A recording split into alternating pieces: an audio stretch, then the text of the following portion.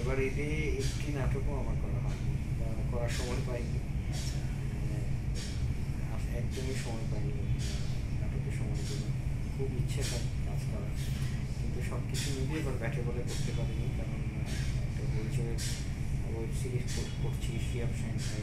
পাশাপাশি মিজানুর রহমান লাবু লাবু ভাইয়ের আলতামান উদ্দিনের শুটিং। অর্ধেক শেষ করেছি, বাকি অর্ধেকটা করে ফেলব সব কিছু মিলে শিডিউল জটিলতার কারণে এবার নাটকের সময় দিতে পারি হ্যাঁ জানতে চাবো যে এবারকার মানে বেশ অনেক নাটকই অনেকেই করে।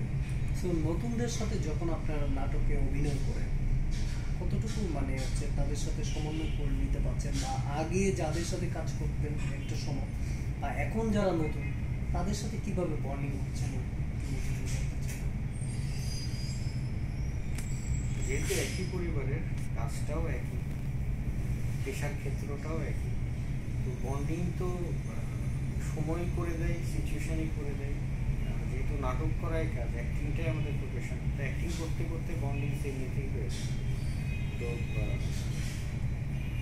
আমরা যারা সিনিয়র আছে সিনিয়রদের সাথে কাজ করে আমি স্বাচ্ছন্দ্য বোধ করি। নতুন যারা আছে, তাদের সাথে কাজ করে খুবই স্বাচ্ছন্দ্য কিছু মিলিয়ে একইভাবে চিন্তা করলেই হবে? পরিবার এবং পেশা। যদি পেশার প্রতি সব থাকে সব কিছুই সিঙ্ক হয়ে যাবে। ভাই, জানতে চাও যে হচ্ছে এখনকার সময় হচ্ছে, নায়ক এবং নায়িকার উপর ডিপেন্ড করে হচ্ছে গল্প তৈরি হচ্ছে।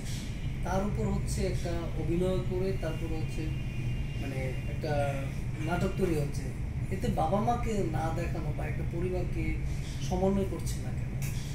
বা এতে কোনো ঘাটতি আছে কিনা এই তো আপনার প্রশ্নের মধ্যেই তো বোঝা যাচ্ছে যে ঘাটতি আছে। এখনকার হিরোর কোনো বাবা থাকতে পারে না বাবা মা তো দুজন থাকতেই পারে না থাকতে তো একজন থাকবে আর হিরোইনের ক্ষেত্রে যদি কেউ না থাকে তো আরও এটা কি ফোনে ফোনে চলে যায় এরকম? এখন সব কিছু মিলে এখন আসলে বা দেয়ালে একটা যে যার জায়গা থেকে আমরা যদি বলি ডিরেক্টর ডিরেক্টরের জায়গা থেকে বলবেন আমাদের তো বাজেট ঘাটতি। আসলে এটা একদমই কাম্য না। একদমই কাম্য না, কারণ আমরা আসলে, আমরা পরিবারকে চাই। কাহিনীর প্রয়োজনে পরিবার, পরিবারকে আনতেই হবে এমন কোনো জরুরি না কিন্তু পরিবার আছে, পরিবারের মানুষ নেই, তাহলে কীভাবে হবে?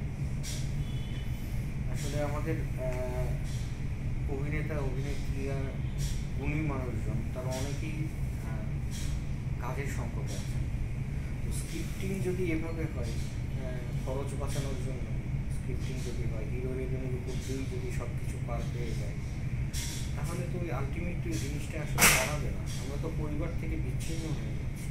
একা একা কত একা একা থাকার যন্ত্রণা ঢাকা শহরে যারা একা থাকে তারাই জানে। একা একা কত দূর যেতে পারে না। পরিবারকে তো লাগবে, বাবাকে লাগবে, মাকে লাগবে, ভাইকে লাগবে, বোনকে লাগবে টোটাল সংসারকে লাগবে। তাদেরকে আনতে হবে ভাই